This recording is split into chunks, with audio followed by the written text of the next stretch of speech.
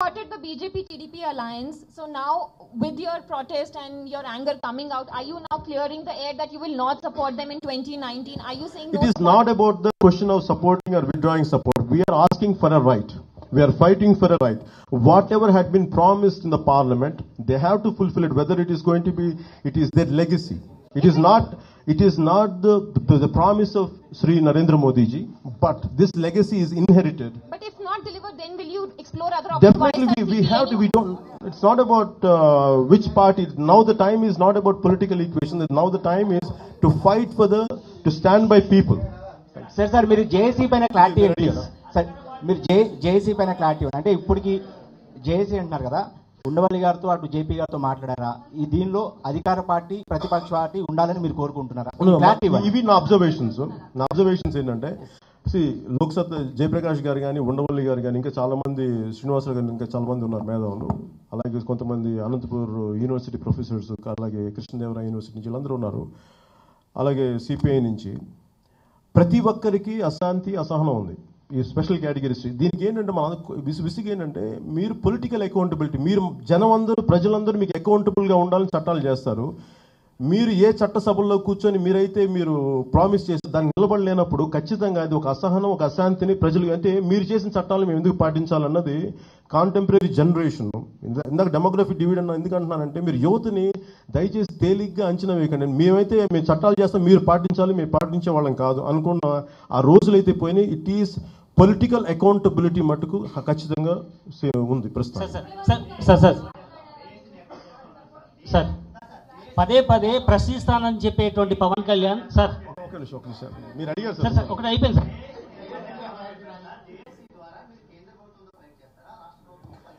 ఇది ఎవరైనా సరే ఆ ఇష్యూ మీద ఫైట్ చేస్తాం. ఆ పర్వ్యూలో కేంద్ర ప్రభుత్వం కేంద్ర ఉంటే కేంద్ర ప్రభుత్వం రాష్ట్ర ప్రభుత్వం కూడా ముందుకు రాలేకపోతే ఖచ్చితంగా రాష్ట్ర ప్రభుత్వం కూడా వచ్చి జరుగుతుంది. ఎందుకంటే నేను ప్రజలు పక్షం తప్ప పార్టీల పక్షం కాదని ప్రతిసారి చెప్తానే ఉంటాను. పదే పదే సార్ సార్ పదే పదే మేడం మీరేదో అడుగుతున్నారు చెప్పండి. ఒక్క నిమిషం మీరు మీరేదో అడుగుతున్నారా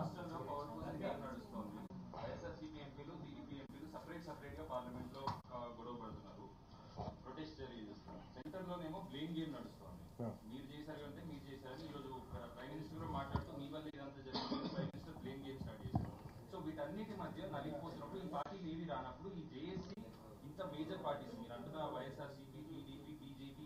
పార్టీలన్నీ రానప్పుడు ఎలా నడిపిస్తారు తెలంగాణ ఉద్యమంలో అన్ని పార్టీలు కలిసాయి అందరు నాయకులు కలిసారు ఇక్కడ అంటే ప్రజలు మద్దతుగా ఉన్నప్పుడు వెనక బ్యాక్గ్రౌండ్ ఎంత ఉందని కాదు ప్రజల మద్దతు ఎంత ఉందని అది ముఖ్యం నాకు మోర్ దెన్ పార్టీ సార్ పదే పదే సార్ సార్ ఇక్కడ ఇక్కడ సార్ సార్ ఒక్క నిమిషం. సరే సరే పదే పదే ప్రశ్నిస్తానన్నటువంటి పవన్ కళ్యాణ్ ఈరోజు ప్రభుత్వంలో ఉన్నటువంటి రెండు పార్టీలను కూడా వెనకేసుకొని రావడం పట్ల ఇటు సోషల్ మీడియాలో విపరీతంగా జనసేన మీద కామెంట్స్ వస్తున్నాయి. మీరు? ఎక్కడ కూడా ఎక్కడ కూడా టీఆర్ఎస్ పార్టీని కానీ తెలుగుదేశం పార్టీని కానీ ఒక్క ప్రశ్న కూడా లేకుండా ప్రజల్లో ఉన్నటువంటి సమస్యల మీద నిందించకుండా పార్టీని ఎలా నడుపుతారు అని చాలా మంది సోషల్ మీడియాలో మీ మీద కామెంట్స్ వచ్చాయి. Politics should be constructive criticism sir. Politics అనేది కన్స్ట్రక్టివ్ క్రిటిసిజం కూర్చోబెట్టి పొద్దున్న లేచి పచ్చి బూతులతోటి వినలేని పదాలతోటి మాట్లాడటం నాకు నాకు తెలియదు అందుకని నేను అట్లానే చేయలేను. అదే పాలిటిక్స్ అంటే మేబీ ఆ పాలిటిక్స్ నేను చేయను చేయలేను కూడా. సార్ ఇంకా మీరు జేఏసీ మీద క్లారిటీ ఇవ్వట్లేదు. ఎందుకంటే జేఏసీ ఏర్పాటుకు మీరు ఆహ్వానిస్తున్నారా? లేకపోతే జేఏసీ ఏర్పాటుకి నేను నేను ఇనిషియేట్ చేస్తా ఇనిషియేట్ చేస్తా నేను కలుస్తున్నాను రేపటి నుంచి. నేను ఎందుకు చెప్పాను? నేను కలుద్దామని నేను ముందు ప్రపోజల్. పెడుతున్నాను. ఇది ప్రపో అంటే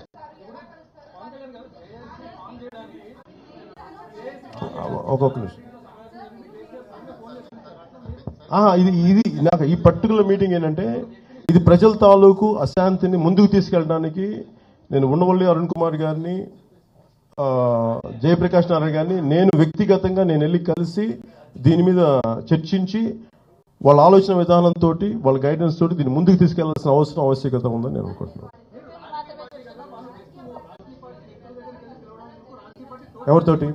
ఏ పొలిటికల్ పార్టీ అని ఇంక్లూడింగ్ తెలుగుదేశం కానీ వైఎస్ఆర్సీపీ కానీ అన్ని పార్టీలు కలిసి రావాల్సిన అవసరం ఉంది. అందరూ కూడా ఇండివిజువల్గా ఫైట్ చేస్తున్నప్పుడు ఇప్పుడు అన్ని పార్టీలు కలిసి ఇక్కడ కూర్చొని ఒత్తిడి పెంచాల్సిన అవసరం ఉంది. దట్స్ ద ఆబ్జెక్టివ్ మీరు కలిసి రావాల్సిందిగా వాళ్ళతో మాట్లాడతారా? అంటే ఇది నేను నా- నేను ఎందుకు ప్రత్యేకించి ఉండవల్లి గారి పేరును జయప్రకాష్ గారి పేరు ఎందుకు పెట్టానంటే ఇట్ ఈస్ నాట్ జనసేన సంబంధం పొలిటికల్ పార్టీకి సంబంధం లేకుండా ఒకటి ఉండవల్లి అరుణ్ కుమార్ గారు సొంత పార్టీతో అప్పుడున్న కాంగ్రెస్ తోటి ఆయన విభేదించి జ- మనకి విభజన సమయంలో వచ్చారు. సో ఆయనకి చిత్తశుద్ధి ఉంది. ఆ ఉద్దేశం ఒకటి. అలాగే చాలా మిగతా మేధావులు చాలామంది ఉన్నారు. అలాగే లోక్నాయక్ మన సారీ లోక్సత్తా జయప్రకాష్ నారాయణ గారు కూడా దో ఆయన పొలిటికల్ పార్టీలో ఉన్నా కానీ ఆయన మీద అందరికీ ఆయన మీద చాలా ఒక పరిపాలన అనుభవం ఉన్న వ్యక్తి యాజ్ బ్యూరోక్రాట్గా అలాగే పొలిటికల్ ప్రాసెస్లో అపారమైన అనుభవం ఉన్న వ్యక్తి. సో వాళ్ళు క్షుణ్ణంగా అర్థం చేసుకొని మిగతా వాళ్ళకి దాన్ని ఎపొలిటికల్గా తీసుకెళ్ళాల్సిన మూమెంట్ ఇది. నాట్ ఎ పొలిటికల్ పార్ట్ అందువల్ల వాళ్ళని కలిసి వాళ్ళ ద్వారా ఎట్లా తీసుకెళ్తే ముందుకుంటుందో అప్పుడే నేను క్లారిటీ ఇవ్వగలను.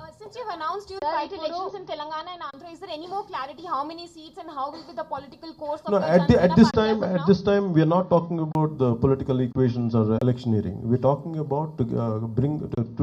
bring justice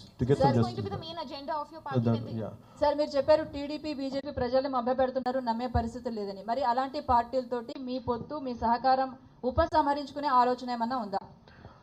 అవన్నీ వచ్చే కాలంలో తెలుస్తాయండి. ఎందుకంటే నాకు కూర్చోబెట్టి యాజ్ ఆన్ టుడే నేను కూర్చోబెట్టి ఉపసంహరించుకోవడానికి నేను ఫస్ట్ ఆఫ్ ఆల్ నేను వాళ్ళ ప్రభుత్వాల్లో లేను.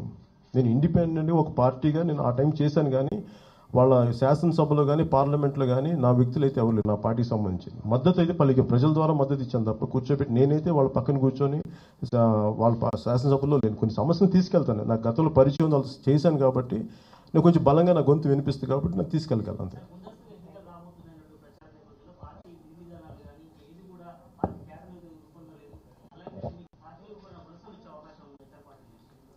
ఉందంటారా? లేదు లేదు లేదు నేను నేను అనేది ఏంటంటే సి వలసలు అనేది ఎట్లా మీరు చూడాలంటే నాకు ఫస్ట్ ఆఫ్ ఆల్ నాకు కొత్త కమిటెడ్ యూత్ ఉన్నారు కొంతమంది. నేను వాళ్ళని ప్రమోట్ చేయాలి. అలాగే దాంతోపాటు వేరే పార్టీల నుంచి అనుభవం ఉండి నిజంగా ప్రజల్లో ఒక మంచి అపారమైన అనుభవం ఉండే ప్రజల క్షేమం జరిగితే నేను అలాంటి అది వలసలని పదవాన్ని కానీ నేను అలాంటి వ్యక్తులు ఇండిపెండెంట్గా నేను తీసుకుంటాను. అంతేగాని ఎనీ పొలిటికల్ పార్టీలాగా రండి మనందరం కలిసి వెళ్ళిపోయి అలా చేయలేను. సార్ మీరు జేఏసీని ఫామ్ చేస్తున్నారు కదా. Sir excuse me sir hello Pawan గారు. అంటే ఏమైపోయిందంటే స్పెషల్ కేటగిరీ ఇది న్యాయం జరగదని చెప్పి చాలా రోజుల నుంచి అందరికీ తెలుసు. ఇప్పుడు ఏమనిపిస్తుందంటే ఇవన్నీ చేస్తుంటే ఇది నిజమా కాదా అని చెప్పి మీమాంసలు అయితే ఉంది. నేను ఎంతవరకు చెప్పగలను పవన్ గారు ఏ- ఏంటి సార్? ఏంటి సార్? మళ్ళీ చెప్పండి. మీరేదో మాట అన్నారు. చెప్పండి. నేను?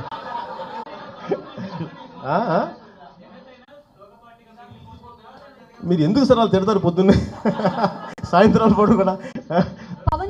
మీకు ఒక కథ చెప్తాను మీకు. తోక అనేది మీకు చైనీస్లో మన చైనాలో ఒక పర్టికులర్ పాము ఉంది. దాని వెనక్కి కూడా విషయం ఉంది. జాగ్రత్త. అది కూడా కాటే కాదు. పవన్ గారు మీరు జేఏసీ ఫామ్ చేస్తున్నారు కదా? మీ బ్రదర్ గారికి నేను ఫామ్ చేయట్లేదు. నేను నేను ఈ రోజు ఏంటంటే నేను పర్టికులర్ రీజన్ ఏంటంటే నేను చాలా? అశాంతి ఉంది చాలా అసహనం ప్రజలకు న్యాయం జరగట్లేదు ఆవేదన ఉంది. ఇన్విటేషన్ ఉందా? చిరంజీవి గారికి దాంట్లో ఇన్విటేషన్ చిరంజీవి గారికి చిరంజీవి గారికి దీనికి సంబంధం లేదు అస్సలు సంబంధం లేదు. ఇది ప్యూర్లీ ఇది.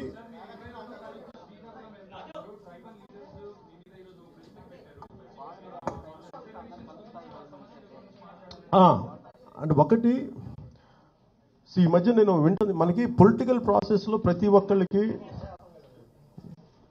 ప్రతి ఒక్కళ్ళకి నిజంగా వనరులు అందట్లేదు రిసోర్సెస్ రావట్లా దాని నుంచి వచ్చిన సమస్యలు ఇవన్నీ.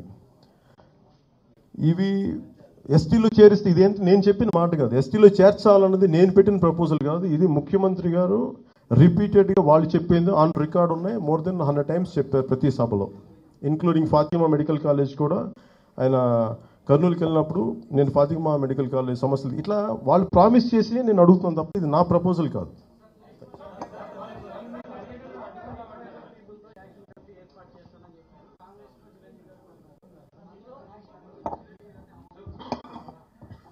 అంటే ప్రస్తుతం ఆయన యాక్టివ్ పాలిటిక్స్ లేరు కాబట్టి నాకు తెలుసు ఆయన ఉండరని ఉండరని అనుకుంటాను